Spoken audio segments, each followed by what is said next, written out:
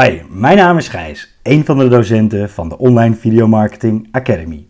In deze video ga ik jullie laten zien hoe je eenvoudig je YouTube video kunt verwijderen. Als eerste gaan we inloggen op YouTube.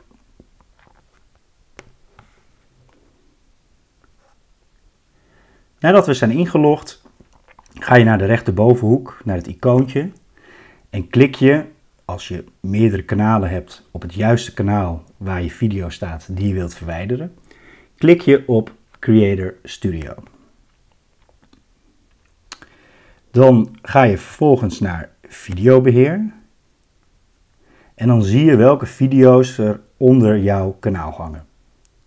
Nou zijn er een aantal opties om je video te verwijderen. Stel dat je deze 1, 2, 3, 4, 5 video's in één keer wilt verwijderen. Dan klik je hierop. Je gaat op acties klikken.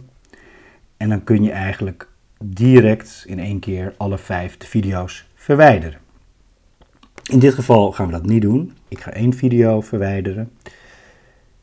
Stel dat ik deze wil verwijderen. Dan klik je op bewerken.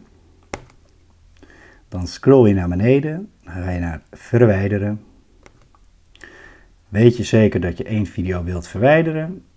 Ja, dat wil je. Let op, de video is dan ook wel definitief uiteraard verwijderd. En je ziet, de video is verwijderd. Er zijn er ook nog een aantal andere opties om de video te verwijderen, maar wel dat die verdwijnt. Dus stel dat je deze video niet wilt verwijderen, maar je wilt hem tijdelijk of permanent gewoon even onzichtbaar maken. Dan klik je op bewerken. Dan ga je naar informatie en instellingen. En dan zie je hier rechts dat hij nu uiteraard op openbaar staat. Maar dan zijn er ook nog andere opties. Je kunt hem privé zetten. Stel dat je je video privé zet, dan kan niemand in principe op YouTube je video in principe zien.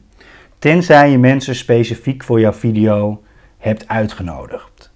Um, overigens, op het moment dat je een video privé zet, kan het enkele uren tot soms wel 24 uur duren voordat hij uit het geheugen is, uit de cache van YouTube. Dus dan zie je hem nog wel, maar na verloop van tijd en refresh het algoritme van YouTube.